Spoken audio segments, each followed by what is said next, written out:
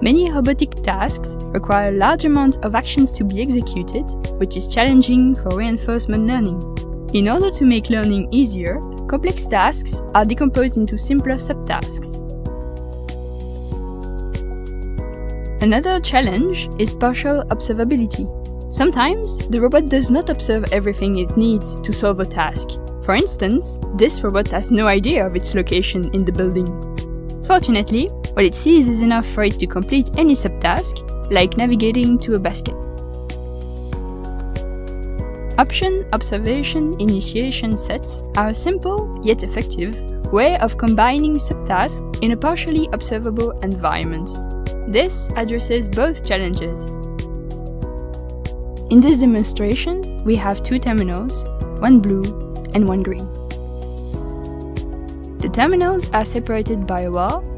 It is impossible to go from one to the other directly.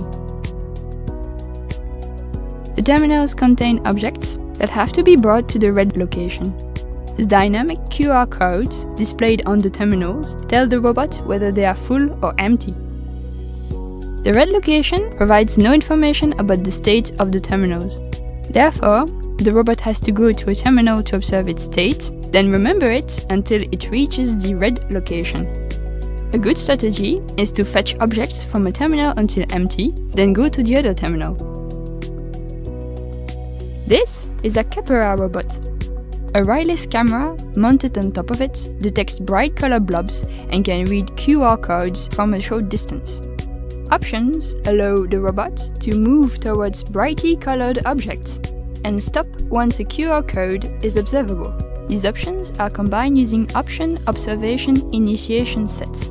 They give rise to an implicit memory and allow the robot to remember from which terminal it arrives at the red location and whether that terminal was full or empty. This allows the robot to solve the task, despite its complexity and partially observable nature.